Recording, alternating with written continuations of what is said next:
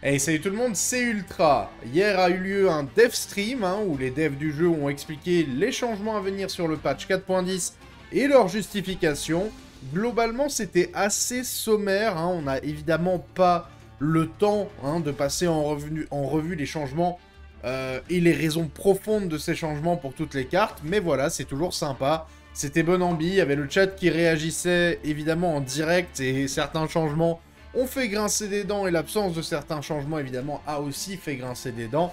On va voir ça en détail et on va voir ce que ça donne. Vous voyez que les buffs et les nerfs sont nombreux. Donc allons voir ce que ça donne dans la pratique.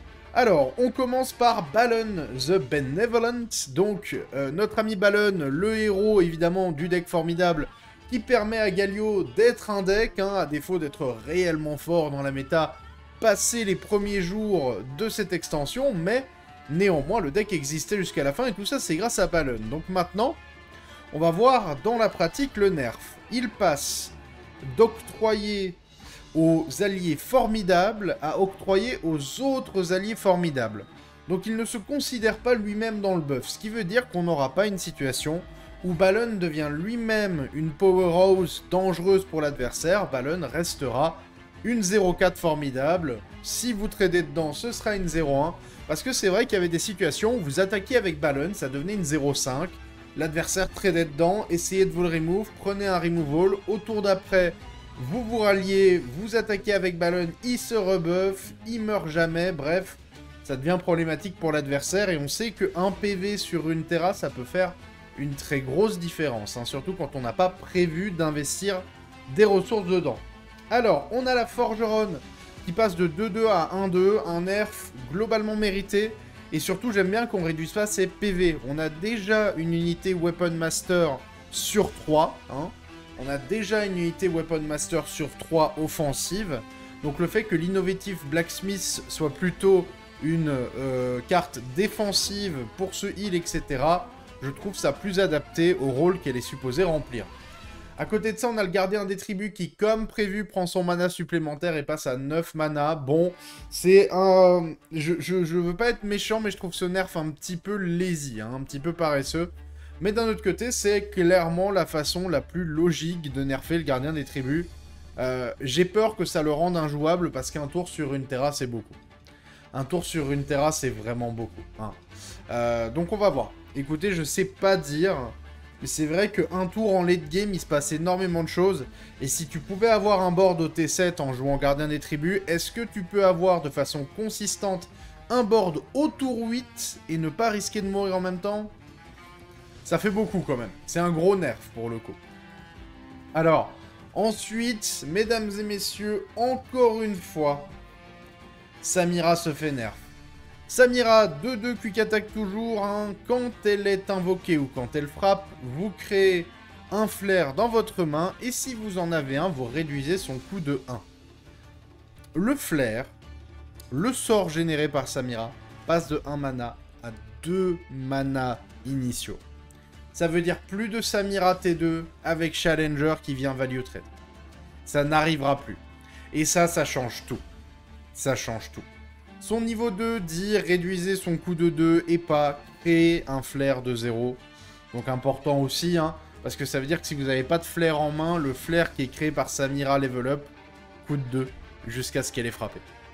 Donc là, on est enfin sur un changement pour mettre une balle à l'arrière du crâne de Samira. Un peu gratos parce qu'elle n'était pas du tout broken sur ce patch, mais en fait, il était temps. Il était temps, mais je suis un peu euh, pareil. Je suis un peu... En fait, moi, il y a un souci c'est que si c'est pour faire ça, si c'est pour planter une balle à l'arrière du crâne de Samira, bah, j'aurais aimé qu'on le fasse le premier mois où elle a dominé le jeu. J'ai du mal à comprendre qu'on ait attendu, quoi, 6 mois pour lui planter cette balle entre les deux yeux, et pour au final quand même lui planter une balle entre les deux yeux, quoi. Je pense que les développeurs se sont sentis forcés, hein, au final, par la pression et la fatigue accumulée par les joueurs, parce que les joueurs, en fait, quand ils jouent contre quelque chose de broken, euh, il y a une fatigue, il y a une accumulation. Hein. Plus vous enchaînez les mois, entre guillemets, euh, avec des problèmes d'équilibrage, plus vous enchaînez les mois de frustration. Et c'est vrai que Samira, elle a créé un mouvement de frustration sur une Terra. C'est au point que même moi, qui suis entre guillemets quelqu'un qui suit beaucoup une Terra, etc., j'étais convaincu qu'il y avait des dizaines de champions à deux, complètement broken, qui cassaient le jeu. Hein. Et puis j'ai été voir les chiffres un jour, et en standard, il y en a genre 12, et il y en a, il y en a 3 fois plus à 4. Il y, en a, il y en a 3 fois plus qui coûtent 4 mana, genre. Je m'en suis jamais rendu compte parce qu'on les voit pas. Donc c'est quand même terrible, vous voyez à quel point, même, allez, même chez quelqu'un qui bosse entre guillemets sur le jeu, chez quelqu'un qui doit connaître les arcanes du jeu pour la pratique compétitive et tout le tralala, ma vision est aussi tronquée. Par la fatigue de voir ce champion partout, par la fatigue de voir les play patterns se répéter encore et encore et encore. Donc effectivement, c'est nécessaire. Mais est-ce qu'on pouvait pas faire une version balance de la carte dès le début, ou en tout cas relativement tôt au lieu de laisser les joueurs accumuler de la frustration et de la fatigue avant de finalement la changer parce qu'on n'a plus le choix? Je trouve ça un peu... Je trouve ça dommage. Je trouve ça dommage. Après, kudos à Riot de pas s'obstiner et foncer dans le mur. Hein. J'ai connu d'autres studios dont je ne citerai pas le nom, qui, euh, lorsque les joueurs avaient des retours mitigés sur certains des designs de cartes qui portent le nom d'un autre jeu de cartes, euh, qui n'a pas tenu deux semaines avant de se cracher, euh, c'est un peu compliqué, mais je suis sûr qu'il y en aura qui l'auront dans les commentaires. Si vous l'avez, mettez-le dans les commentaires. C'est une ref, c'est une ref. enfin voilà, il y, en a qui postent des images de lance sur euh, Twitter et qui se foutent de la gueule des joueurs. Donc, au final, qu'est-ce qui est mieux? C'est mieux d'avoir Riot qui finit par s'en occuper et écouter les joueurs. Mais, bon, le mécontentement sur Samira, il n'est pas nouveau, il n'est pas dû à cette saison, la fatigue, elle n'est pas de cette saison non plus, donc j'aurais préféré que ce soit fait plus tôt, vraiment. C'est mieux que rien, écoutez. Ça nous évitera un scénario Samira est à nouveau méta, parce que si Samira est à nouveau méta, ça va à nouveau gueuler, donc bon. Au moins, elle a pris son nerf. Par contre, si elle est méta malgré son nerf, ça va gueuler deux fois plus, hein, les gars. Mais, si elle est méta malgré son nerf, il faut tout arrêter, parce qu'elle est genre à 8 nerfs, Samira, hein, peut-être 10 nerfs, enfin, je sais pas... Faut arrêter maintenant. Hein. Si... franchement, si elle est encore méta après son nerf, vous me la rotez. elle part la rotation en mars. Je m'en fous. Ok. Wildfire passe à 2 mana. Alors ça, c'est pour éviter les abus. Et je pense que le deck insaisissable aggro avec Wildfire, c'est un peu un abus aux yeux, aux yeux de Riot, ok? Wildfire était fort, mais Wildfire était pas très fort. Mais le problème, c'est que Wildfire était unfair et qu'il y avait plein de types d'archétypes qui galéraient beaucoup contre Wildfire. Euh, ce, qui faisait des, euh, ce qui faisait des fiches de match-up très... Allez, très tout ou rien, quoi. Donc pas super appréciable. Alors, le Claude Winter, le chevaucheur des vents en français, 3-2 passe à 2-2 quick attack. Bon, c'est un nerf mérité, la carte est quand même très forte à 2-2. Hein. De toute façon, l'effet fort des cartes de Jana, c'est la draw, c'est le mana cheat de Jana, c'est le mana cheat sur le Chevaucheur des Vents et sur Marin. Et Mariam qui est broken de base. Euh, donc, quand vous avez l'intégralité de ce set-là, euh, et le tourbillon d'ailleurs, le mana cheat sur le tourbillon est fort aussi. Donc voilà, quand vous avez l'intégralité de ces paramètres, bah un point d'attaque, euh, ça fait pas grand-chose, hein, un point d'attaque ou un point de vie. Donc voilà, c'est vraiment... C'est un nerf, mais genre, c'est saupoudré un petit peu de nerf au-dessus. Hein. Alors le Sting Officer, il était joué dans Timo Yumi en insaisissable, il passe de 2 à 1-2. Mérité. Mérité pourquoi? Parce que c'est une carte qui est supposée faire partie du set de Caitlyn, ok? Hein, C'est pas une carte qui est supposée faire partie du set d'élusive et servir à agresser, c'est plutôt une carte de contrôle. Les Flash Bomb Trap, c'est plutôt des cartes de contrôle. Le set de Caitlyn, il est pensé en tant que set de contrôle. Du coup, avoir une carte comme ça, qui va à l'encontre de l'identité du set dont elle fait partie, et qui se retrouve utilisé dans un deck qui n'a rien à voir, oui, c'est ennuyant. Et puis surtout, les 2-1 sont plus forts qu'à une époque. Et du coup, les 2-1 insaisissables sont beaucoup plus forts qu'à une époque. Pourquoi? Bah Parce qu'on a moins de removal à 1 hein. avec la rotation. C'est vrai qu'on a perdu Villefestin, on a perdu Gohard, on a perdu Withering Whale, on a perdu Lotus Mortel. Euh, donc les cartes à 1 PV sont beaucoup plus tranquilles qu'à une époque de Runeterra où les cartes à 1 PV, ça servait à rien, elles mouraient tout le temps, hein. tout le monde jouait plus de balles, tout le monde jouait... Euh, allez, tout le monde jouait Withering Whale, tout le monde jouait euh, Villefestin. C'était impossible pour les cartes à 1 d'exister, quoi. Donc voilà, passant 1-2, écoutez, c'est sympa. Alors, Runaway Scrap Trap, vous ne connaissez peut-être pas la carte, mais si je vous dis Ferro Piège Fou, vous n'aurez toujours pas la carte, et ben pourtant c'est la carte euh, qui est invoquée par le sort euh, Invention de Ferra extraordinaire, un truc comme ça? Bref, euh, notre ami, notre ami, ici, était la fameuse 6-6 impétuosité qui vous pétait la tronche en Jace. Et ben maintenant c'est fini. Pourquoi? Parce qu'elle a plus impétuosité. Donc elle est nulle. Vraiment elle est nulle. Euh, j'aurais mis un autre mot-clé qu'impétuosité, parce qu'impétuosité, je pense que c'est plus fort que les mots-clés mots initiaux de Runeterra. Les mots-clés initiaux de Runeterra, ils ont été pensés euh, d'une certaine façon à ce que d'autres cartes de Runeterra puissent les contrer. Impétuosité, clairement, on sent que c'est quelque chose de rajouté, entre guillemets, euh, parce que ce mot-clé, il se fait pas contrer comme redoutable se fait contrer. Il y a très peu de cartes 3-3, et donc il y a très peu de cartes qui peuvent te tuer lorsque tu as impétuosité et des PV. Et donc même quand les cartes peuvent te bloquer, elles meurent, tandis qu'en redoutable, quand la carte peut te bloquer, elle te tue. La carte, quand elle a 3 de défense, t'as pas une redoutable 4-4, hein, t'as une redoutable 4-3. Et donc quand elle peut te bloquer, elle te tue. T'as une redoutable 3-1, bah quand elle peut te bloquer, elle te tue. Par contre, t'as des cartes impétuosité 2-3, comme Nila, ou t'as des cartes impétuosité 4-5. Euh, On verra, il y a une carte à venir, impétuosité 4-5. Ici, c'était une 6-6 impétuosité. Et là, c'est problématique parce que qu'est-ce qui bloque ça? Bah, Ce sont des 1-3, des 2-3, des 3-3, mais du coup, ça prend un trade, ça prend deux trades, ça prend trois trades, et la pression ne se retire jamais du board. Alors, le coursier X-Tech, ça c'est le plus gros nerf de l'histoire d'Imerges.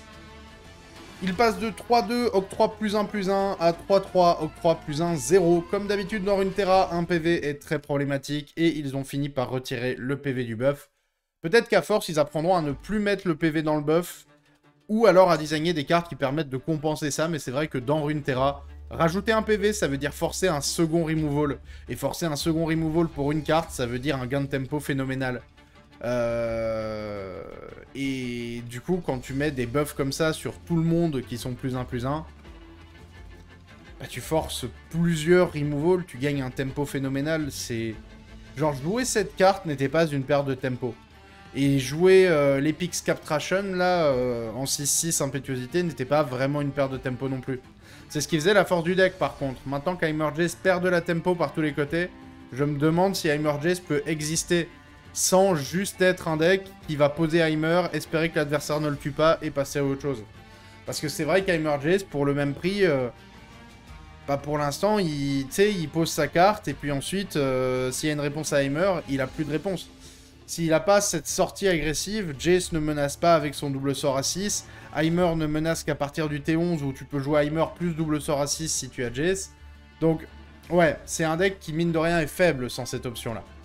Alors, Swindle qui prend un nerf un peu gratos, euh, mais le nerf, il est quasiment inexistant. Hein. Donc, au lieu de manifester une carte non champion de la main adverse, vous allez choisir une parmi deux cartes de la main adverse. Donc, au lieu de choisir une parmi trois, vous choisissez une parmi deux. Bon, vraiment... Euh. Alors, la vallée de limitation passe de 3 à 4 mana. Petit nerf Nidali et pas si petit que ça. Parce que ça évite l'enchaînement vallée, puis Nakotak. Euh, vous allez devoir poser Nakotak sur 3, vallée sur 4, ne rien faire sur 4, et puis jouer éventuellement sur le T5. Donc ça fait quand même mal au deck. Hein. Ça fait quand même mal au deck.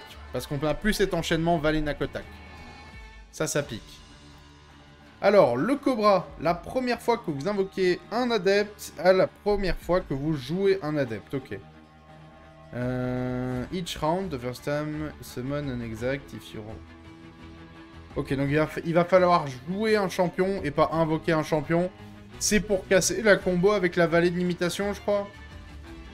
Bon, après, j'ai jamais trouvé le deck Cobra euh, terrifiant. Moi, je l'ai toujours trouvé un peu nul, mais bon. Alors, l'idole passe de 0,5 à 0,4. Swain est mort. Soit Ilaoi est mort et je trouve ça un peu gratos, mais il paie pour le reste du, du set Ilaoi, qui se retrouve dans Ilaoi Volibear, qui se retrouve dans Ilaoi Jarvan, qui se retrouve dans Ilaoi Swain. Mais, le problème, c'est que là, pour le coup, ça, c'est vraiment un nerf phénoménal parce que, bah, en Swain, vous n'infligez plus que 4 dégâts au lieu de 6, euh, et vous avez une 2-2 au lieu d'une 3-3 pour un. Euh, pareil, ça change beaucoup, hein. Donc euh, voilà, euh, la carte était pétée, elle l'est plus, mais est-ce que le set d'Ilaoi peut s'en remettre? Je sais pas. Alors, Pike prend un nerf, c'est gratos. C'est gratos. Euh, L'heure que va être rotate, les amis.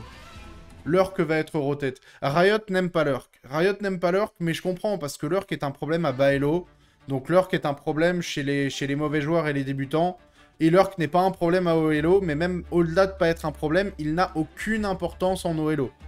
Genre, il n'a aucun impact sur la méta, il n'est jamais joué dans les top, euh, tiers, il est quasiment jamais ramené en tournoi.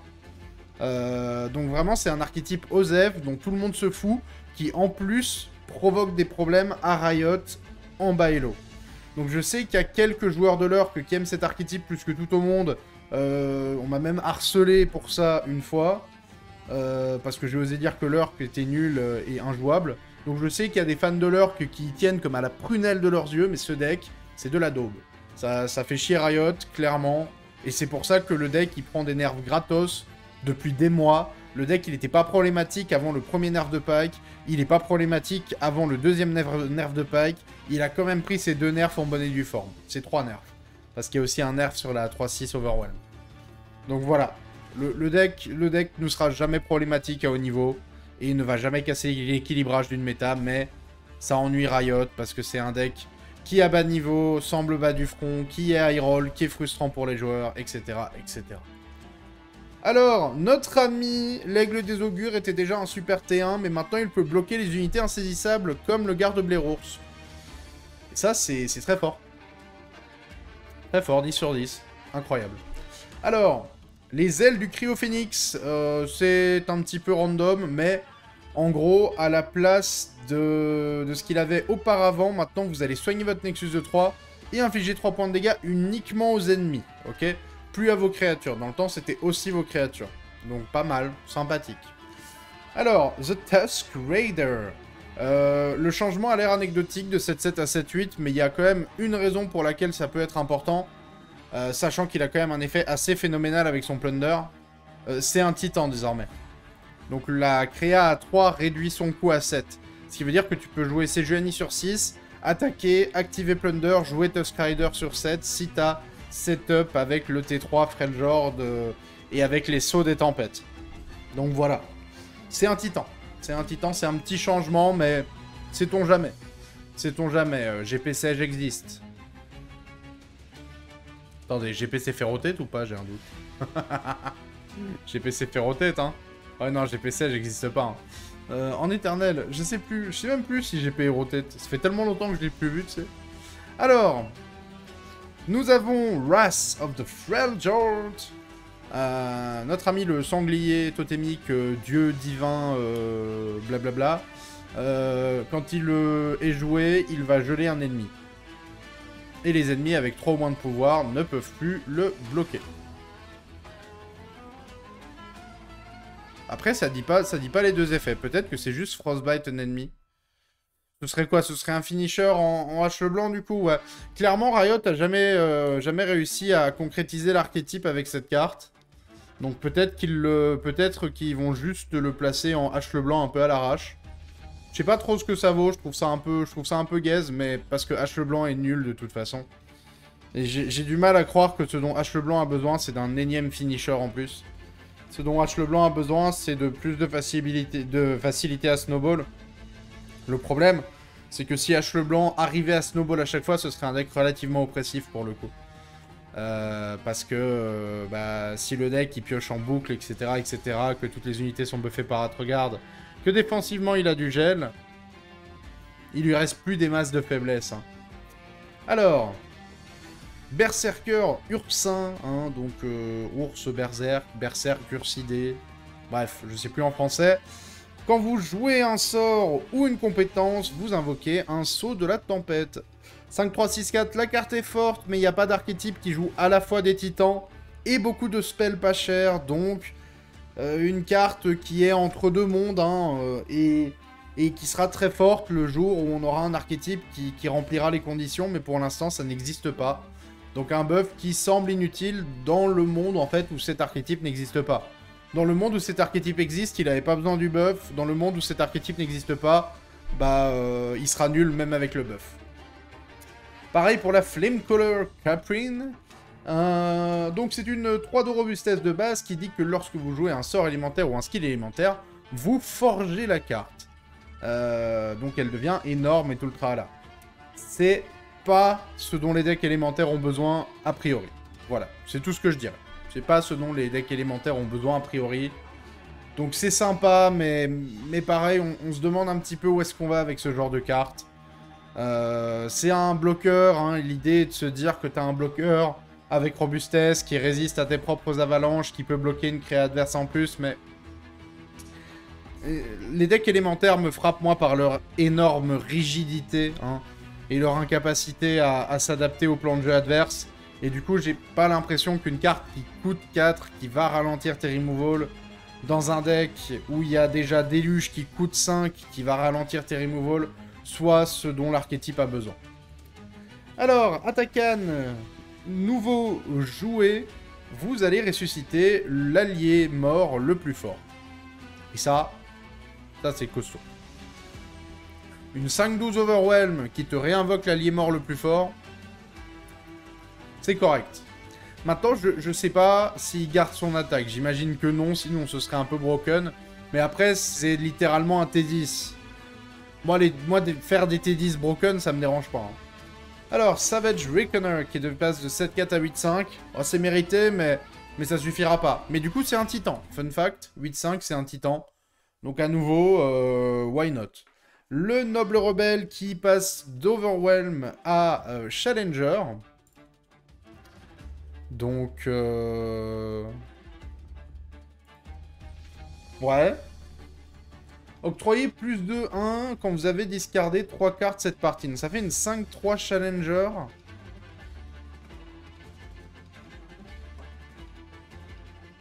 Une 5-3 Challenger pour 3. Il faut que tu discardes, sinon c'est une 3-2 Challenger. C'est de la merde. Excusez-moi, hein, mais c'est juste nul. Euh, du coup, Lord Eldred, nouveau. Quand un allié survit des dégâts, octroyez-lui plus 1 plus 1. Ça, c'est costaud. Mais après, j'aimais bien son effet. Euh, j'aimais beaucoup son effet avec le Nexus qui a, qui a robustesse. Ok, je trouve ça dommage. Je vois pas dans quel archétype il va rentrer non plus, parce que euh, un, 8 cost qui te dit ça, on s'en fiche, hein, on n'a pas envie de le jouer non plus, hein, c'est trop lent. C'est trop lent, et puis pour 8, tu le poses, il prend vengeance, et on va pas se concentrer sur tes autres cartes. Donc je comprends pas, il, avait un effet direct, ce qui est super pour un T8, et là maintenant, il a un effet de setup tout nul qui, prend du temps. Donc, naze. Vraiment 0 sur 10, ça. Alors, euh, Clock End qui passe de 7-7 à 8-8, donc ça devient un titan. Exhaust qui passe de focaliser à instantané, ça c'est très fort. Euh, parce que du coup, tu peux répondre à une attaque en donnant moins 2. Donc ça, c'est très très fort. Ça, c'est un gros buff pour le coup. Alors, volonté singulière, 10 mana, passe à 9 mana, on s'en fiche. Harry, niveau 1, son, sa condition de level passe de 6 unités ou plus à 5 unités ou plus. Mesdames et messieurs, il va falloir surveiller Harikenen. Hein. Il va falloir surveiller Harikenen. Hein. Moi je dis, gardez bien les yeux sur Harikenen. Sait-on jamais. Alors, Children of the Forest. 8 mana, Invoquer une, une copie éphémère, blablabla, c'est ce que ça faisait avant. Désormais, ça coûte 2 mana, ça rappelle un allié, ou alors tu peux dépenser 8 mana pour invoquer des copies éphémères, etc. etc. Donc euh, c'est cool. Flexibilité, tu le rentres dans plusieurs archétypes, euh, et, du coup ça peut servir de finisher pour Harry, et simultanément faire un petit recall supplémentaire, donc vraiment très très bien. Harry a reçu des bons buffs, hein. on risque de revoir de la Harry, mesdames et messieurs. La diva de zone qui passe de 7-5 à 8-5, ça devient un titan, même logique que tout le reste. On a Consult the Heavens. Euh, avant, c'était en instantané. Ok. Donc avant, c'était en instantané sur un seul allié. Vous allez le soigner et puis vous alliez grandir, enfin, égaliser, entre guillemets, sa puissance à sa vie. Ok euh, Enfin, agrandir en vrai, parce que s'il avait 4 PV, 9 de puissance, il descendait pas sa puissance. Mais s'il avait 9 PV et 4 d'attaque, il passait 9-9. Là maintenant, c'est en lent et c'est tous les alliés. Écoutez, petit buff Soraka. Petit buff Soraka et euh, soigner tous les alliés et augmenter leur attaque à leur PV, c'est un gros finisher. C'est un gros finisher, ça, pour un deck Sorakatam. Parce que Sorakatam, le problème, c'est quoi? Le problème, c'est que ça n'a pas de finisher autre que le site Sorakatam. Mais maintenant, si Sorakatam peut juste faire taper 3 unités en 8-8 pour 6 mana, on, a vu ce que ça donnait avec faveur de Demacia. Hein. Donc imaginez qu'ils aient, euh, qu'ils aient deux bergères qui tapent à 15 et euh, trois créas qui tapent à entre 8 et 12 parce qu'ils ont été buffés et tout le tralala. Ça peut finir des games, hein. Clairement, ça peut finir des games. Hein. Alors, Generous Gemcrafter qui passe de 2-3 à 3-3. Bon buff. La carte est forte. Est-ce qu'elle aura un archétype? Je sais pas. Mais la carte est forte. Brash Gamer, qui n'avait Gambler, pardon, qui n'avait pas de mot-clé, a désormais le mot-clé impétuosité en plus de son effet. Ça, c'est cool. Euh, une 4-5 impétuosité euh, qui draw deux cartes fugaces en attaque, c'est fort. Megatusk passe de 3-4 à 3-5, ça n'a l'air de rien, mais comme d'habitude, une fois que profondeur est activée, ça veut dire que c'est une 6-8, et une 6-8, c'est un titan, donc c'est réduit. Est-ce que ça sert à quelque chose parce que Deep ne sera jamais joué en dehors d'île obscure? Non on s'en fout, mais euh, c'est... Euh, bref. Euh, The King's Court. Quand je suis invoqué, piocher Jack. Ça, c'est fort. Jack a un bateau, désormais. Vous savez que les bateaux dans Runeterra, ce sont des tutors, hein. Des tutors qui servent à aller chercher vos champions. Et bien, du coup, quand je suis invoqué, piocher Jack. Voilà. Donc, Jack a un bateau, c'est cool. C'est cool, c'est cool. C'est un bon buff de The King's Court, pour le coup. C'est un très bon buff. Alors, Maddle Baps. 1-3, 0-3 avec Attune, donc va vous remplir une gemme de mana, c'est Unisson en français. Euh...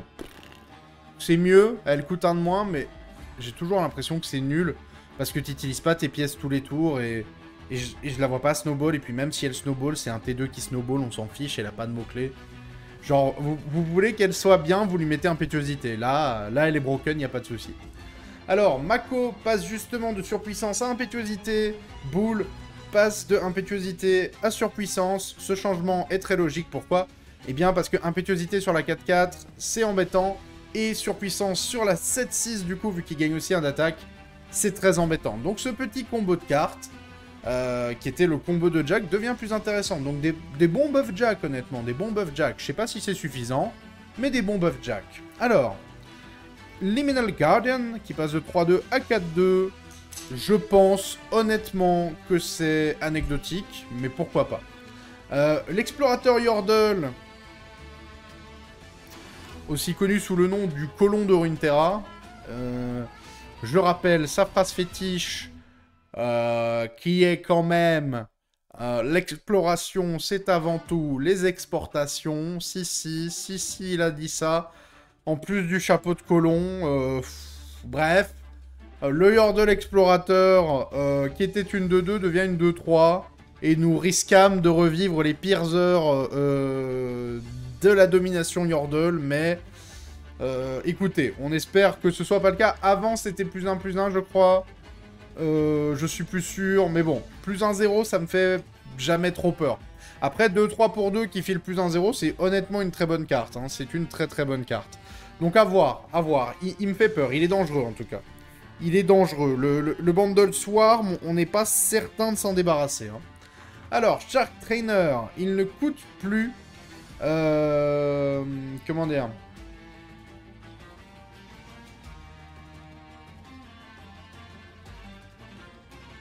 Ok, il ne coûte plus un mana d'essor pour invoquer euh, le requin 4-2. Je ne me rappelais même plus que ça coûtait un mana des sorts d'invoquer le requin 4-2. Bon, c'est vraiment super anecdotique, ça. Alors, Haunted Tomb, qui passe de 3 mana à 2 mana. Donc, euh, vous avez un décompte de 2, vous allez, vous allez ressusciter euh, l'allié mort le plus puissant. Bon. C'est ok tiers, mais je sais pas si c'est vraiment impactant. Parce que si tu le joues T2, t'as peu de chances de savoir quel allié mort ça va ramener, du coup. Euh, et ici, Harrowing Return, vous allez ressusciter une copie éphémère de l'allié le plus fort qui soit mort, et donner aux ennemis moins 0 pour se rendre. C'est des buffs à Fearsome, globalement. Alors, Timo, euh, ça c'est le buff le plus ridicule de tous les temps, mais en gros, Timo, il plante au minimum 5 puff caps euh, qu'il double ensuite à son level up. Et c'est très bizarre, mais en gros, c'est pour les gens qui jouent Howling Abyss en Pass of Champion. Voilà. Donc pour les gens qui jouent, euh, qui jouent euh, la RAM, le site à 6 qui vous donne des champions level up, si vous récupériez Timo, eh bien le problème, c'est que c'est une 2-2 qui ne double aucun champignon dans le deck adverse. Et donc maintenant, bah, au moins il doublera 5 champignons. Voilà, c'est totalement random comme buff. What the... Enfin, je connais pas le Pass of Champion, c'est peut-être super important pour les joueurs de Pass of Champion. Passons à la suite. Alors, le sort de Kane passe de 4 mana à 3 mana, et c'est important. Pourquoi c'est important? Parce qu'il y a aussi un bug fixe, hein, rappelez-vous. Momentaneous... Moment, moment, momentous choice. Choix capital, en français c'est plus facile. Choix capital ne sera plus bug. Et vous savez que moi j'avais testé le deck en mode sérieux, je vais le ramener à l'open. Hein. Donc sans le bug, il était déjà ok. Avec le buff du sort de Kane, on est sur quelque chose de potentiellement solide. Pourquoi? Parce que ça veut dire, ça veut dire hein, que vous jouez un Kane au T5, vous faites une frappe sur un ennemi, l'adversaire joue, vous faites le spell de Kane à 3, vous avez Kane level up, et vous savez que Kane level up, c'est une machine de guerre extrêmement difficile à arrêter. Donc, euh, ok, ça, c'est un gros buff pour Kainatrox. Ça aussi, c'est un énorme buff. La collection éclectique passe de 7 mana à 6 mana. La collection éclectique a un texte un petit peu long, donc c'est parti, on va... On va... On va... Aller chercher notre éminem intérieur. donc, pour chaque allié, vous allez planter un mystérieux portail et trois chives. Les chimes, pas chives, chives, c'est les oignons verts, là, c'est le, c'est la ciboulette, euh, je crois. Euh, mais, euh, alors les chimes, c'est quoi? C'est Icarion en français, ça c'est Icarion en français. Donc vous allez planter un portail, vous savez, celui qui importe une créature aléatoire à deux ou trois de coups, qui vient du set de Nora à la base, dans les 10 premières cartes de ton deck, et vous allez planter des Flash Bomb Trap, donc le set de Caitlyn, et trois Poison Puff Caps, le set de Timo, euh, sur des cartes aléatoires dans le deck adverse. Voilà. Donc ça veut dire que pour chaque allié, vous allez, du coup, avoir 3 carillons dans votre deck, un mystérieux portail, et 3 euh, flash bombs, et 3 puff caps sur le deck ennemi, ok? Si vous avez 7 alliés, ça veut dire que vous plantez un total de 7 portails mystérieux sur les 10 premières cartes de votre deck, un total de 21 carillons sur les 10 premières cartes de votre deck, soit 2,1 carillons en moyenne par carte piochée, et vous allez planter sur le deck adverse 21 euh, Flash Bomb Traps sur les euh, cartes adverses et 21 Poison Puff Caps. C'est fort, c'est un finisher. Ça vous donne des ressources et ça vous donne des créatures de façon constante, ça vous développe Nora rapidement. Euh, et ça veut dire que votre adversaire va choper des champignons tous les tours. Et comme par exemple Heimer Nora était un deck assez défensif, Veigar Nora est un deck assez défensif, ça fait que si votre adversaire a désormais 21 points de dégâts dans son deck qu'il va petit à petit piocher au cours de la partie, ça va le conduire à sa perte, tout simplement. Tout simplement. Donc c'est... Pixel, je veux revoir du Heimer Nora, je veux revoir du Heimer Veigar, euh, du Nora Veigar, pardon, bref. J'aurais jamais cru dire ça un jour, mais je veux voir Nora, ça faisait trop longtemps. Et finalement, Portail Pionnier est un Yordle, et euh, Cold Shot, le sort d'écho, passe de lent à focaliser. Les deux changements sont un peu euh, pas si important que ça, on va pas se mentir. Le Yordle, ça peut servir en vrai. Parce que ça veut dire qu'elle est réduite par mère de ça veut dire que c'est une alliée bi-région, euh, ça veut dire que euh, elle coûte quasiment rien et que vous avez un sort d'explorateur en plus disponible dans vos decks Yordle potentiel. Voilà, c'est l'intégralité du patch, mesdames et messieurs, donc j'espère avoir été le plus clair possible et le plus complet possible. J'ai pas non plus envie de faire une vidéo de 3 heures. Il y a une grosse quantité de buffs, donc j'aime bien.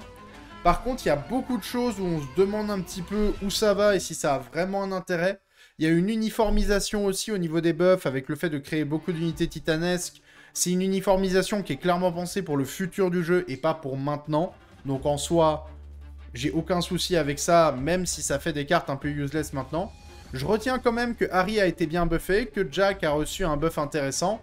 Euh, mais je retiens aussi que Jana n'a pas été nerf en elle-même et que donc Jana va poser problème 100%. 100%. Voilà. Euh, est-ce que ce sera trop fort? Ça, je sais pas dire parce que la méta peut changer. mais Jana sera forte, et puis surtout, Jana va frustrer les gens. On sort d'une saison où Jana a très clairement dominé dans trois archétypes différents au minimum, a été joué dans 5 à 6 archétypes différents, euh, et euh, du coup, bon, on a déjà une fatigue qui se crée autour de Jana, donc vraiment, j'espère que du côté de Riot, on apprend un petit peu, et on va pas reproduire un protocole Samira avec une carte qu'on ne nerve pas pendant des mois et des mois et des mois avant de finalement être obligé de le faire parce que la réception des joueurs est trop mauvaise. Euh, le mana cheat dans LOR, c'est dangereux. Il faut que Jana paie un coup pour ce mana cheat, ne serait-ce que des PV, ne serait-ce qu'une facilité à être remove, euh, bref. Il faut un coup pour Jana, actuellement elle n'en a pas. Et le set de Jana est pour moi toujours trop fort pour la suite du jeu. On verra ce que ça donne et on verra si c'est un problème parce qu'évidemment c'est très difficile d'anticiper la prochaine méta avec autant de buffs et autant de nerfs, ok? Donc on va voir ce que ça donne dans la pratique, on verra quelle est la situation in-game et on espère euh, eh bien que si c'est un problème pour nous, Riot réglera la situation rapidement mais je vais pas faire le Doomsayer alors qu'on n'a même pas le patch en main je ne peux n'empêche que noter l'absence de Jana et je sais que tôt ou tard il faudra nerfer Jana ou le set de Jana de façon plus conséquente que juste mettre moins 1 d'attaque sur le chevaucheur. Donc je maintiens mon argument initial pour Samira, c'est la même chose pour Jana. Quand on sait qu'une carte va poser problème, on joue pas à l'apprenti sorcier en mode peut-être cette saison, peut-être celle d'après. On s'en charge. Voilà. Je, trouve en tout cas que c'est important. Bref, J'espère que la vidéo vous a plu. Si c'est le cas, n'hésitez pas à laisser un like et un commentaire pour aider au référencement. On se retrouve la prochaine fois tout le monde. C'était Ultra. A plus. Et je vais pouvoir reposer la voix parce que... Foi Il y en avait des changements. Hein. Pour pas faire une vidéo de deux heures, il y en avait des trucs à dire. Hein. Oh, j'ai débité là. Je vais me faire une camomille. Hein. Je reviens. Allez, des bisous YouTube. À la prochaine.